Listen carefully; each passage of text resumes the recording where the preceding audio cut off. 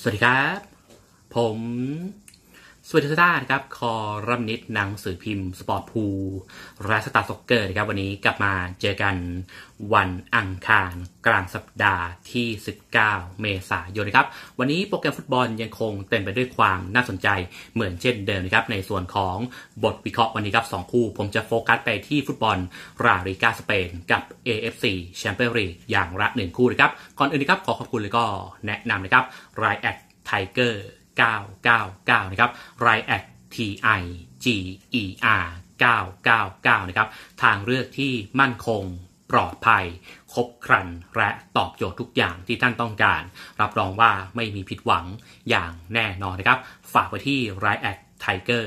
999 เอาไว้ด้วยนะครับ วันนี้ครับคู่แรกไปกันที่ลาลีกาสเปนนะครับ เป็นการเจอกันระหว่างเรอัลเบติสเปิดบ้านพบกับ เอลเช่ ฟอร์มการเล่นของเบดิโกตอนนี้กลับมาเข้าที่เข้าทางนะครับ พวกเขามีแรงจูงใจต้องการลุ้นโควตายูฟ่าแชมเปี้ยนส์ลีกครับ นอกจากแท็กติกการเล่นเกมรุกของกุนซือมานูเอลเปเยกรินีที่วางแผนได้เป็นอย่างดีนะครับ มีนักเตะให้เลือกใช้งานเพียบ ไม่ว่าจะเป็นวิลเลียนโชเซ่ บอร์ฆาอิเกลเซียสนาบิลเฟคีร์เซร์คิโอกานาเลสฮวนมี่และอีกหลายคนนะครับ เกมรับช่วงหลังเนี่ยยังเหนียวแน่นลงตัวมากขึ้นนะครับเรียกว่าสมดุลทีมเนี่ยค่อนข้างแข็งแกร่งทั้งเกมรุกกับเกมรับนะครับวันนี้ครับได้เล่นในบ้านนะครับเจอกับทางเอลเช่นะครับซึ่งผลงานช่วงหลังเนี่ยตั้งแต่ที่สถานการณ์จ่อลอยตัวพวกเขาเนี่ยตกลงไปอย่างน่าใจหายนะครับเกมรุกค่อนข้างฝืดนะครับแล้วก็นอกบ้านเนี่ยพวกเขาไม่สามารถยืนระยะได้กำแพงคู่นี้ครับเปิดมาให้ที่เรอัลเบติสนะครับเป็นต่อที่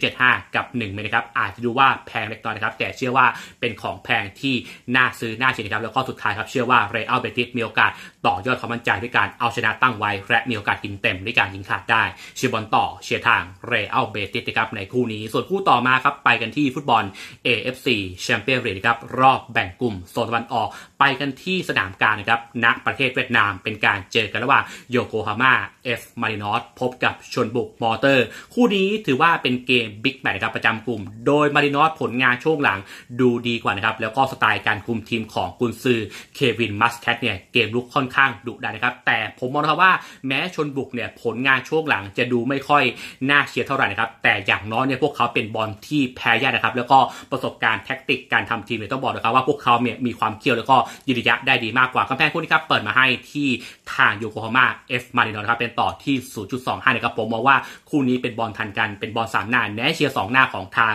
ลูกเก๋านะครับชุนบุกมอเตอร์มองว่าวันนี้ครับจะไม่แพ้เป็นอย่างน้อย หรือแม้กระทั่งเฮเต็มด้วยการพลิกเบียดเอาชนะได้เชียร์บอลรองเชียร์ทางชุนบุกมอเตอร์นะครับในคู่นี้วันนี้ครับสองคู่ในคลิปนี้ฟุตบอลคืนวันอังคารนะครับเชียร์บอลต่อเชียร์เรอัลเบติสเชียร์บอลรองเชียร์ชุนบุกมอเตอร์นะครับขอให้ทุกท่านเชียร์บอลแบบมีความสุขนะครับเฮงเฮงหัวรวยไว้เจอกันใหม่พรุ่งนี้ สวัสดีครับ